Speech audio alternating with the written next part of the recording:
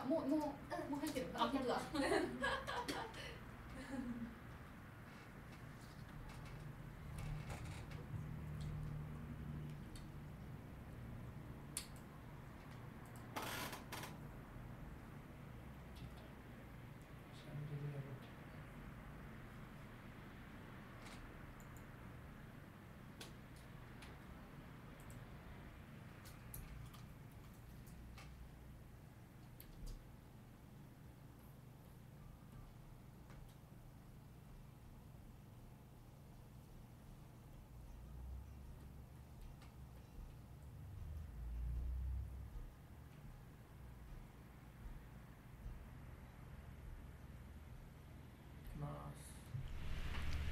こんにちは。時刻は12時半を回りました。コートのことづてのお時間です。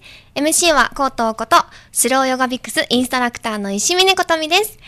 海の見える素敵なスタジオより、この後13時まで生放送でお送りします。皆さん最後までお付き合いください。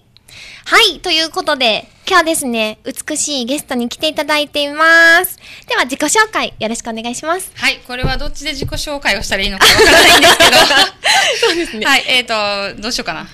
今日は、今日のテーマの方でいいうん、ですか、今日のテーマの方でお願いいします。先日開催されたジャパンイメージコレクション、えー、審査員特別賞をいただきました野田由紀子と申します。あーいらっしゃいませ、はいありがとうございます。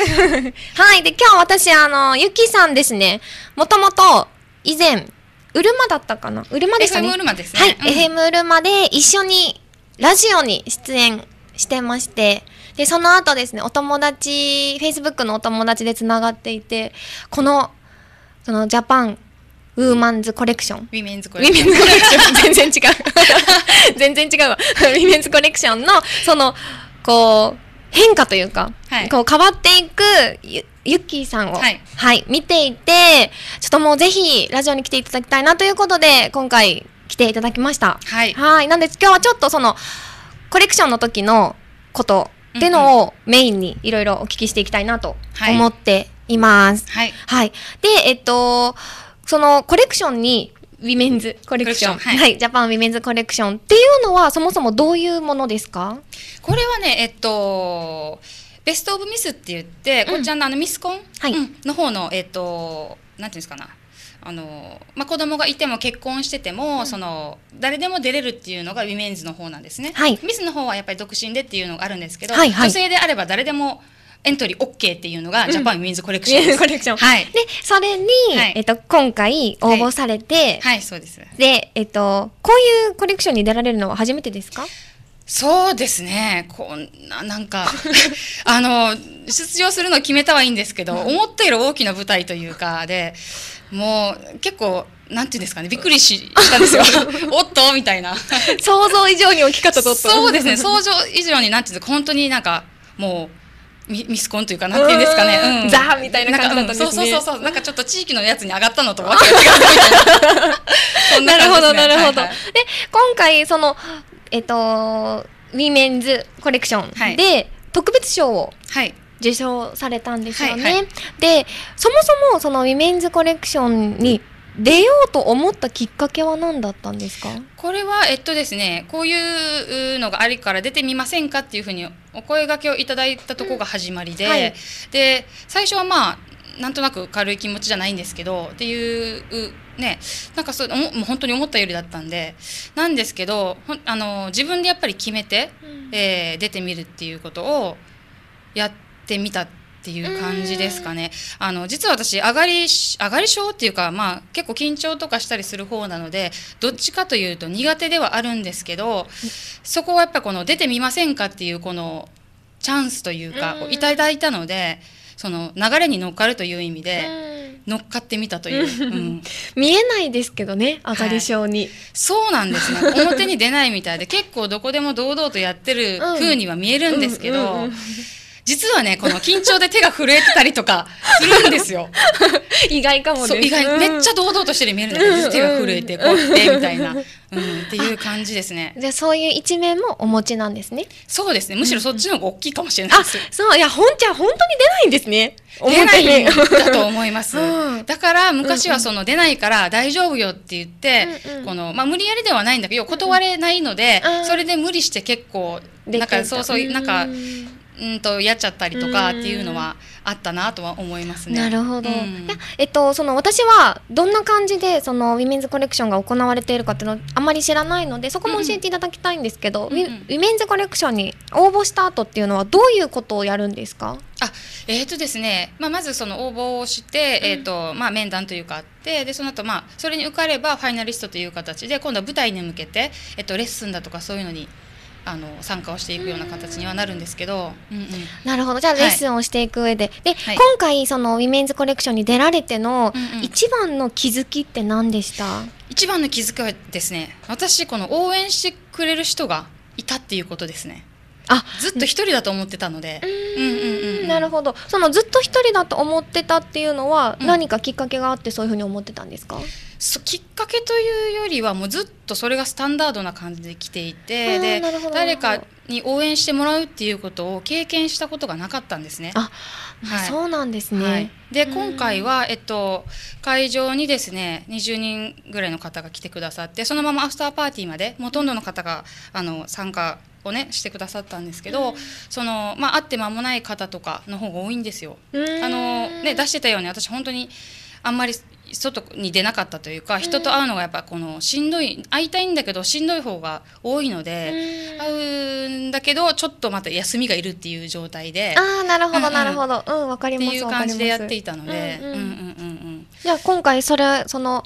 なんていうんですかねウィメンズコレクション中は、うん。しんどいみたいな気持ちはなかったんですか？しんどいのもやっぱりありますね。やっぱそうですよね。ありますね。うん。うんうん。やうん。っぱ初めての方もたくさんいるし、とにかく初めての場所だし、うん。うんうんうん。もう自分に言ってみればチャレンジですよね。そうですね。今までやってきたことないようなことをチャレンジしていく、あじゃあえっとそのこんなにたくさんの仲間が自分にはいるんだっていうのを感じることが今回のその一コレクションでできたってことですね。そうですね。あのうんまあ気づきというかなんかし自分がチャレンジした収穫が一番そこが大きかったかなと思います。うんもちろんねこの関係者の方々の舞台にっていうところもね先生方とかもあるんですけど、うんうん一番大きいのははやっぱり応援してくれた、ううんん、方たちですね。あーなんかそれってうん、本当になんていうんですかあのーお金で買えないですよね。そうですこうお金ね。に例える私もあれなんですけどで。も本当にね私ってこんなに幸せ者だったんだっていうのをうん気づいて、うんでもなんでそんなに応援者が、うんあの増えたかのかっていうところはやっぱりこの自分が思ってることとかえっとなんていうんですかねをちゃんと伝えるように気持ちとかをあの外に出すようになったからっていうのが、あの一番かなとはね、それはわざと意識してやったんですか？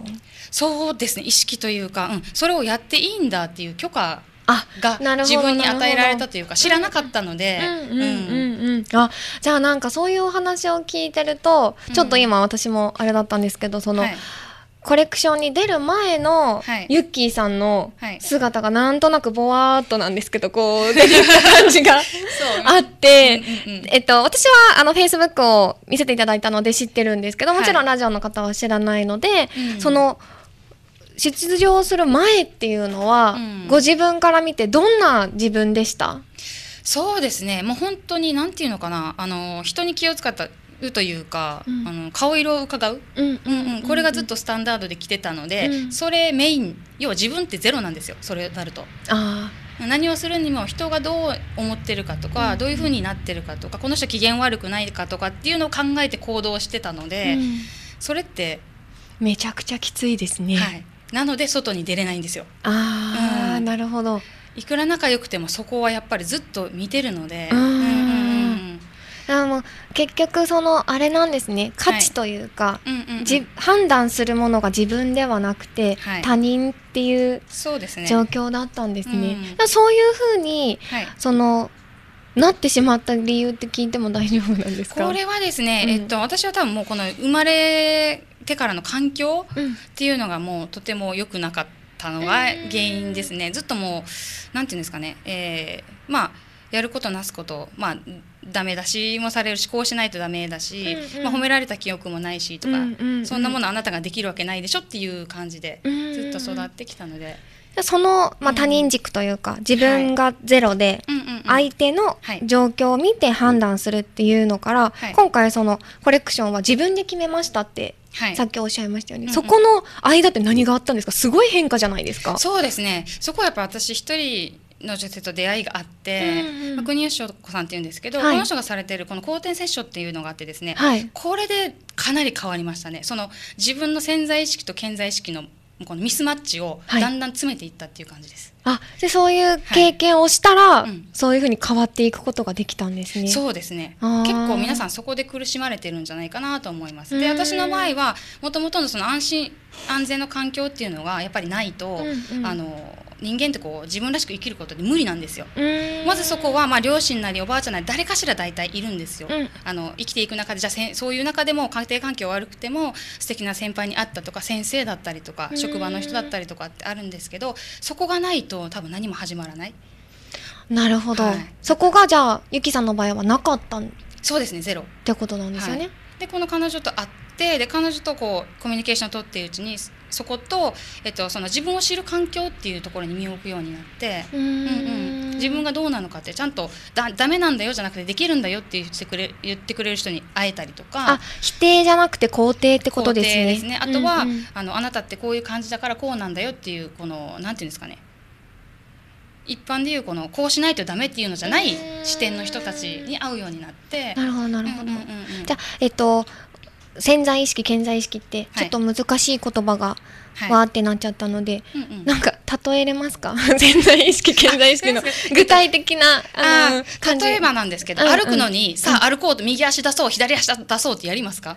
やらないですね、うん無意識って。無意識にうん。これが無意識です。はい。だけどじゃあ今こういうふうにおしゃべりしてる時に何を話そうかなってじゃあ頭で考えてやってるのは健在意識ですよね。ああなるほど、うんうん。無意識と意識してることっていうことですね。思考って言ったら分かりやすいですかね。あの健在意識って。そうですね。うーん、それがミスマッチだったってことですか、無意識とうん。その意識する思考が、ゆきさんの場合はミスマッチだったってことにうんなるんですか？私の場合というか結構皆さんミスマッチしてることが多いんじゃないかなと思います。あーこれがマッチ,、ねマッチしてる人こそ、うん。あのすごく楽しく人生を生きてて、まあうん。あの一般に見てすごく成功しているような方は、うん。マッチしてる方の方が多いです。うん。あ、じゃあ自分が無意識でこうやりたいっていうことを意識として行動できるっていう感じ、思考でこう行動できるって感覚で合ってえっと、ますか、これをやりたいと思ってうん。やってるはずなんだけど、うん。できてなかったりとか。あーそのやりたいがずれてるってことですかね？なんて説明した難しいですよね。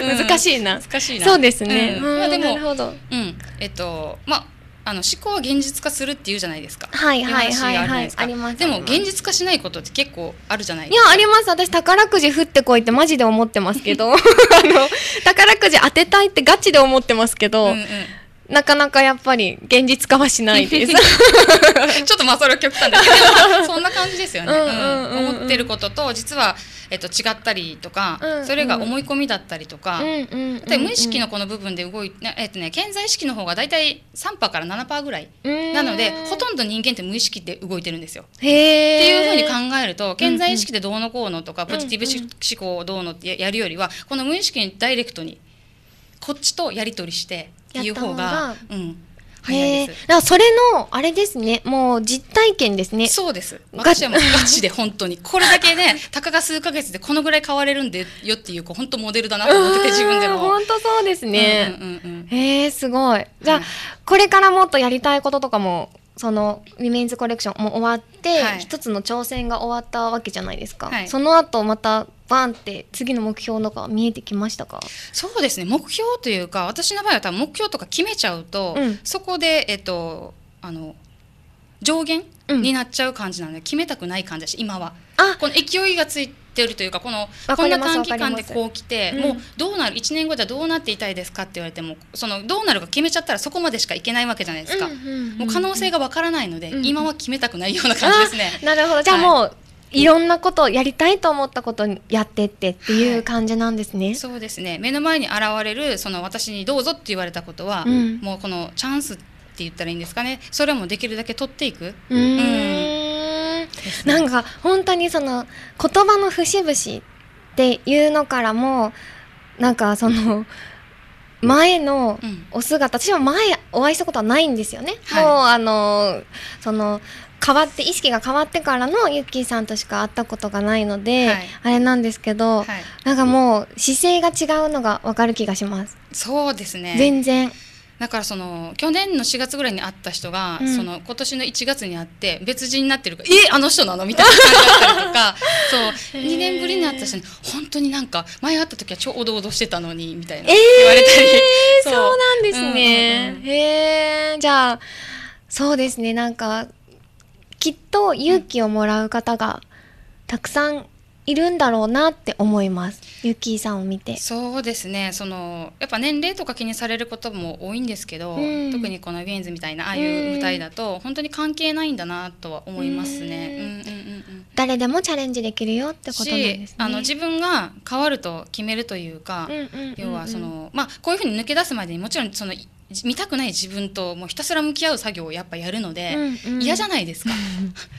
本当に。じゃあその辺はやっぱり今より良くなりたいかどうかっていうところにやっぱ比重を置いて、うん。今を抜け出したいとか、うん。やっぱそっちの思いの方が強かったので、こう人の手を借りて一人じゃ無理だから人の手を借りてたけど、もう抜け出したっていう感じですね。ううんん。まだ一人じゃ無理です。そうですね。無理ですね。もうまあ育った環境だったりとか、うん。そういうのももちろんあると思うんですけど、はい。うん、でもそこを私は、まあ、一人じゃ無理ですっていうふうにおっしゃったんですけどはい。掴み取ったなっていう感覚がすごくあります。そのなうんうん。掴み取ったというか、うん。その抜け出したいっていうはい。行動力、そうです。重い重いですかね。うんやっぱり辛いので、もうほん、うん。そこの辛い苦しいから抜け出したいっていうのが一番なんですよね。うんうん。うん。じゃあ今の苦しいままがいいのか、うん。このなんかね辛いことをやってでも次のステップに行きたいのかって言った時に、うん。もうずっと抜け出したくて何かを探してた、うん。ずっといろんなことにこう手を出したりじゃないけどどこであの自分が抜け出るだろうっていろいろやってたんだけど、バッチリハマるものがあったというか、それがえっとゆきさんの場合だとそうですねこの後天セッションっていうやつですね。やつだったんですね。はいはいこれはもしその今ラジオを聞いて、はいあの受けたいなっていう方がいらっしゃればあ、いらっしゃれば、えっと、Facebook で、えっと、私を検索していただいて、はい最近も記事に上げたんですけど、はいはい。うん、それも見ていただけたらなと思そこにあのリンク貼ってあるのでそこから予約できたりするんですよ。あ、なるほどなるほど。はい、国吉翔子さんの後天セッションですね。国吉翔子さん、私お会いしたことあるかな？あるかな？わかんない。聞いてわかんないですよね。なんでゆきさんに聞いてんだろう。いやでもあの辺でそう繋がってるからそうそうあるかなって思いながら。はい、じゃあちょっとツイッター読んでいきましょうね。えーっと、東京、えーっと、むさしさん、後藤さん、山内さん、ゲストのゆきこさん、こんにちは。太鼓さん、ヤッホー。宝くじ振ってこいや。いや、買ってこい。いや、そうなんだよ。いや、ね、しかも太鼓さん聞いてください。振ってこいって言ってる割に買ってないの、私。そうそういうとこだよね。うんで、あとは、あ、てつさんです。加藤さん、うんゆきさん、こんにちは。てつだよ。ってことでいただいてますが。逆になんか、あの、今聞いてくださってる皆さん、変えたいことってありますか？自分のこういうとこ変えたいな、みたいな。もしそういうのもあれば、全然コメントくださいね。ということで、うん一旦、あの、素敵なリクエストをいただいてるので、はいリクエスト曲いきましょうか。はい。はい。では、えっと、ゆきさんのリクエスト曲で、This is me。途中で CM 行きますか？はい、お願いします。もう終わりますね。もう終わります。すいません、ちょっとね、なんか遠いんですよ。あどうですか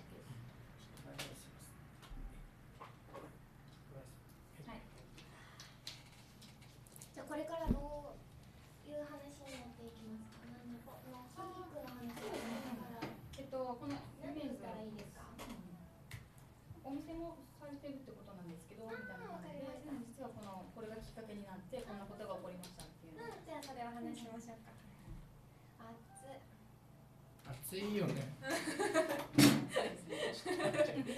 で多分喋ってるからだともあると思います。今日でも暑いです。昨日もだったかな。うん暑いですね。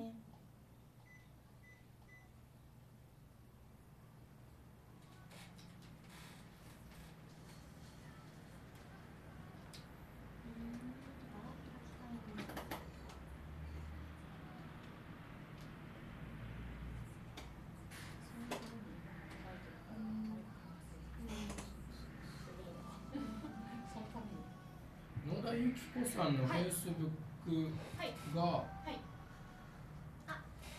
見当たらない。私のうんフェイスブックにタグ付けしました。あ、本当ですか？うじゃ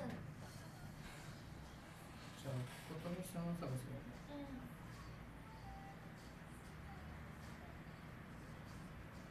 裏側はちょっとどこまで喋ってる側のねどこまで喋ってるか分かんなかったからあ、なるほど、なるほど、全然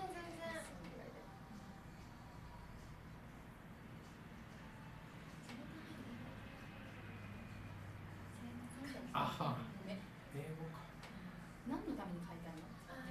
あー、聞いてっていう聞いてください。ちょっと読み上げてください。できるかな時間あ、行きます、行きます、行きましょう、行きましょう。行きましょう、行きましょう。じゃあ CM 行きましょう。はい、お願いします。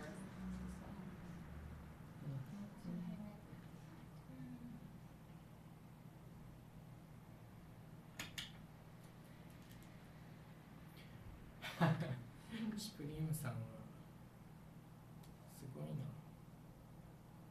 これシュプリーム、シュプリーム、シュプリームさんでいいのかシュプリームさんで大体みんな行ってるので。トヨタの86クーペトヨタの86が買ったらいいや単純にお金がないってなったらそのお金を稼ぐことができるとかねいろいろこう落とし込んでいけばじゃあお金が稼げないんだよってなんでお金が稼げないのかっていうねそうもうどんどんすると結局自分なんだよってそんなセッションというかそういうのをやるんですか。この健在とどうのっていうやつ。あそれはもう人によって全然もう抱えてる問題とかあれも違うんで一概にこれっていうわけではないですねこんな感じっていうわけではない。うんまずうん筋肉のやつはもうやらないんですか？筋肉は筋みたいな。筋肉あ反応それであそれそれを使ってやるんですよ。それはやっぱ健在にこっちは無意識だからあー、なるほど。あ、頭俺やったことあるそれ。あ、そう。うん。筋肉 P のやつ。頭あの四分しかないね。いきます。はい、お聞きいただいている番組はコートのことづてです。あ、早速コメントたくさんいただいてるので、ちょっと読みましょうね。変えたいっていうか、自分でバー開きたい。タイゴさん。で、タイゴさん、そのために居酒屋バイトとか稼いで金を稼ぐ。はいはいはい。で、シュプリームさん。変えたいことは生活環境と嫁。なんで生活環境と奥さんを変えたいんでしょうかね。うーんそこが気になりますね。なぜかっていうのが。タイゴさん、トヨタの86クーペ型にもなりたいし。乗ってください。でも正解だと思います。居酒屋バイトとかでう働いてて。んうんうん。乗りたい。買おう。買おう。買いましょう。買おう。買えない。なんで買えないのか。ですよね。そうですね。そういうことをふ、あの、そういう自分と向き合うってことですよね。そうです。例えば、じゃあお金がないっていうんだったら、うんうんじゃあね、その、なんでじゃあ稼げてないのかとか、んうん。そもそもなんで稼いでそれに乗りたいって思うのかとか、うん。うん、なんかそういうことをやっぱ聞いていくと結局自分の中にうんなんか引っかかってるブロックがあったりだとか、うんえっと、すごく遠い昔にすごいトラウマがあってそこが起因して、その現実今なんか現れてることをストップかけてたりとかっていう本当に何があるかわからないんですよ。こういうのを探せるのが自分探求後天セッションってやつなんですけど、ううんうんうんんなるほど。私は超絶おすすめです。はいそうなんですね。じゃあ、はいえっと、ゆきさんが、うんうんお店、そうですよね。お店されてるって。あそうですね、えっとはい、このジャパンウィンズコレクションがきっかけで、はいあのやっぱ着て出るドレスっていうのを探してたりがあったんですけど、はいまあ、そのご縁からその那覇にあるシャンデリアブティックっていうドレスショップを私が引き継ごうと、今閉店してたんですけど、えー私が引き継いでまた再オープンするっていう話になってで今その準備進めてるとか今日この後お店の方に行くんですけど、えー本当にできることからやってるっていうのがこういう感じですね。すごいご縁ですね。そうなんですよ。本当に。何が起こるか本当にわからないですよね。わ。からないですね、なんかこうさっき言われたみたいにはい。こうなるっていうのを決めてそこを探るのも大事ですけど、はい。自分を本当に信じてはい。どう広がっていくかっていうののをもう決めないっていうのも本当に大事ですね。そうやっぱり自分に合ったものを選択するのがいい、決めた方がいい。ね達成できる人はやった方がいいし、うんうん。っていう本当に自分に合って自分が心地いいものを選んでいくと、うん。でき出てくる現実というか起こる現実はもう格段に変わりますね。すごいね。これは絶対です。はい。人も変わります。なるほど。はい、出会う人。で、そのお店はいつオープンしてますか？えっとですね、今ちょっと不定期なので、はい。インスタとか、えっと、フェイスブックの方で、あの、オープンする日というか、この、今日は何時から何時までとか、明日は何時から何時までとか、いう感じで、えっと、アップしていってますので、えーシャンデリアブティックで検索していただいて、そこからチェックしていただけたらなと思います。うん置いてあるお洋服ってドレス系が多いってことはどういうお方がおすすめですか？着ていただくのは。えっとですね、ドレスもあるんですけど、ワンピースとかうんもあるので、えっとですね、あの、ニューヨークとか、ロサンゼルスの方から、あの、インポートのもの。へやっぱりちょっとこちらで、ほら、ユニクロとかみんな一緒じゃない、もう私だけ、もう私はもう、なんて言ったらいいんですかね。わかりますわかりますうん。もう私だけのっていうのをお探しの方はもうぜひ。あなるほど、シャンデリアブティックさんですね、はいはいで場所はどちらになりますか、えっと、くもじですね。くもじの、えっと、三丁目。三丁目38の8。はい。はいですね。じゃあえっと国際通り近くなので。普通にそのオンリーワンを探してる方もいいですけどはい。結婚式とかでも使えそうですね。そうですね、うん、そんな感じのあのショートドレスというか、うん、ミニのドレスもありますし、長いちょっとあの商用のドレスもありますし、うんうんうん。うん。でアクセサリーも置いてるので、わあいいですね。ですよ。気になります、は いはい。女子好きなやつ。もう本当に本当に遊びに来ていただけるといいかなと思います。私あの好きなんで勝手になんか自分で似合わないっていうフィルターをかけている方が多いので、似合うのをちょっと着てみてくださいって嫌いじゃなければ。着ていただいて新しい自分を発見していただいてっていうのもすごく楽しいんですね。うん。新しい自分に出会える場所ですね、はい。なるほどなるほど。あじゃあツイッター読んでいきましょうか。はい。あシュプリームさん。女系家族の女性に好きになってしまう運命を変えたいですって。なるほど。うんちょっとこれはわかんないかな。深そうですね。終わり方よこんな終わり方でよかったのかな終わり方よ。めっちゃウケる終わり方。うんどうなのかな。面白い。まさかここであのフェードアウトと思う。違う方がいいか分かんなくてあれ見てても。そうで56分までなんですけどあそうなんですね。あーまあいっかーって思っちゃいました。終わった終わったこんな終わり方したことあります？ないですないですよ。ね。そう私とおるとこういうことが起こります。初めてです。いつもまたねって言ってるんですけど、まあ、バイバイしよう。バイバイ。バイバイ。またね